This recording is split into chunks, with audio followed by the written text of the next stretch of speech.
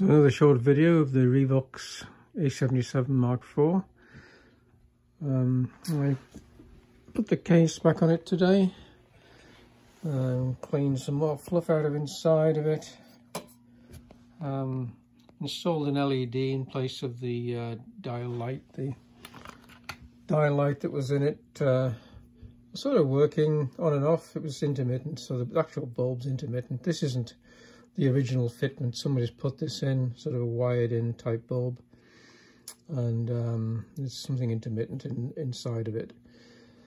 So I didn't have the correct bulb, so instead I, I replaced it with a with an LED. And uh, that'll be the last time anybody ever needs to replace that. It draws about 8 milliamps, whereas the bulb used to draw about 50 milliamps. Um, so it's been running all day um, since I put the case back on it. This is a second uh, tape that's been pulled through it, uh, 10 and a half inch reels. Um, the case temperature um, above the motors. Uh, so this is the, the take-up motor is about 42, 43 and the rewind motor is about 40-ish. So very, very comparable. Um, the faster rotating motor gets a little bit more cooling because the um, the rotor, the bell of the motor actually rotates a bit more, which causes a little bit more uh, heat loss. Um, but apart from that, it's, it's, pretty identical. Being no indication at all of any uh, hesitation of the take-up uh, spool. So no tape uh, spillage. Tape transport's been working great. So I'm not really sure what uh, what the problem is. Um, it's actually working great. Um, the um, VU meters are working good. I'll uh, just stop this and rewind it, just to demo how fast it rewinds.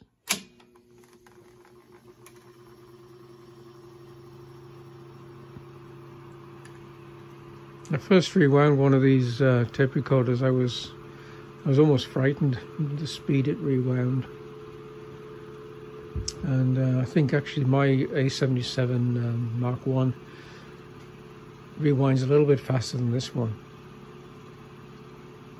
And um, towards the end of the rewind action, when this the uh, this spool is, is almost empty, it's uh, it's doing a real fast number of RPM. The tape counter is working good.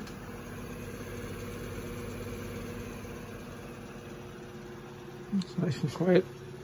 No strange rattles or noises. The only noises you occasionally get are when the tape catches the edge of the spools because the spools aren't perfectly flat. Again, these are very old spools. These are probably date from the 70s or 80s. This recorder itself probably dates from about 1972, 73, something like that. Mine, which is a Mark 1, dates from 1967, I think. It's a very early Mark 1.